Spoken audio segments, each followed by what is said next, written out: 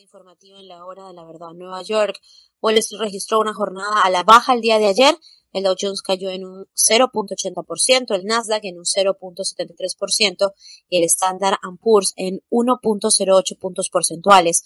Por su parte, el crudo Brent se cotizó en 123 dólares con 86 centavos el barril, mientras que el WTI lo hizo en 122 dólares con 41 centavos.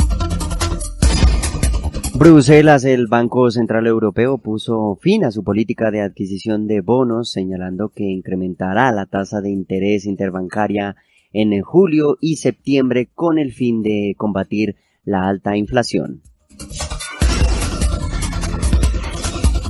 Washington, el FBI dio arresto al candidato republicano a la gobernación del estado de, Michigan, Ryan Kelly, en relación con su participación en la insurrección que tuvo lugar en el Capitolio de los Estados Unidos el 6 de enero de 2021, haciéndose público varios videos en los que presuntamente aparece instando a la turba a entrar en las instalaciones del edificio.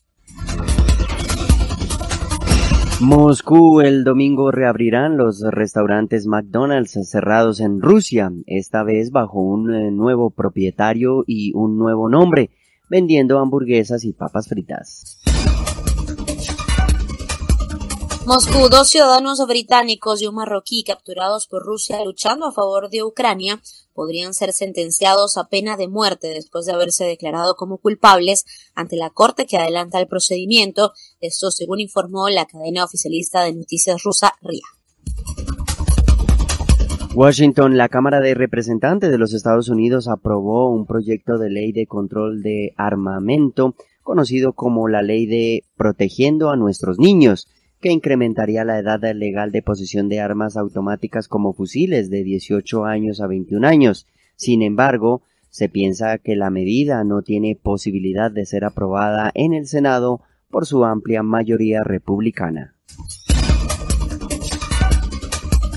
Pekín, después de tan solo unos días de apertura, las ciudades chinas de Shanghai y Pekín fueron puestas nuevamente bajo alerta de cuarentena después de que nuevos brotes de COVID-19 en las ciudades generaran nuevas restricciones en Shanghái y medidas como cierres de lugares de entretenimiento en Pekín.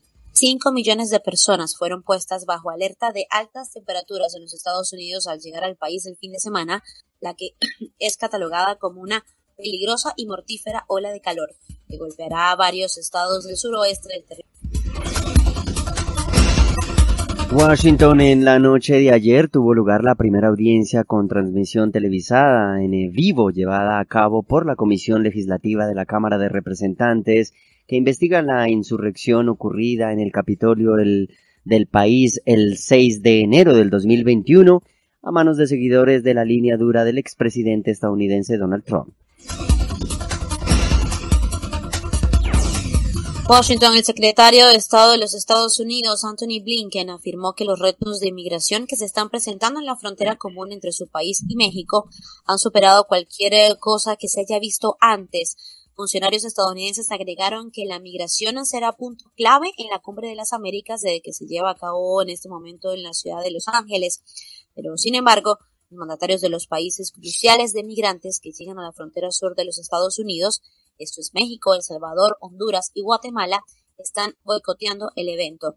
Entre los meses de octubre y abril pasados, autoridades migratorias de los Estados Unidos detuvieron a 310 mil migrantes provenientes de estos países en la frontera.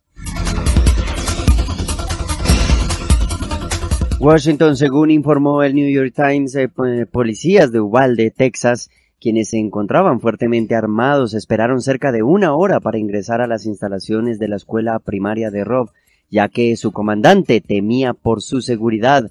Pese a tener informes de, que había estudiantes heridos junto eh, con el asaltante dentro del colegio, los uniformados esperaron a que les trajeran equipo protectivo adicional antes de ingresar a...